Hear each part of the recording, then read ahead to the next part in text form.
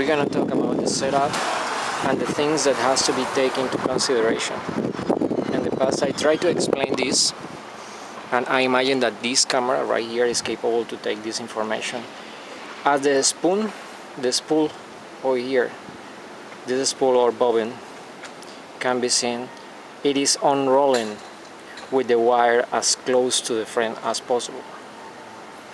It is a point of reference that is utilized because once we look from the top over here, there cannot be interference between these two points. Okay, the wire have to run freely in between these two points.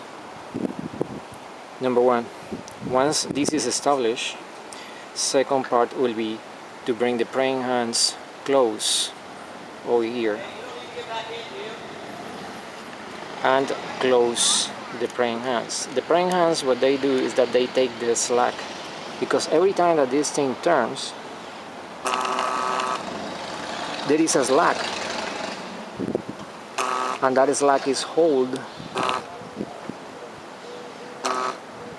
by the praying hands until the last second and the process repeats again and again and again.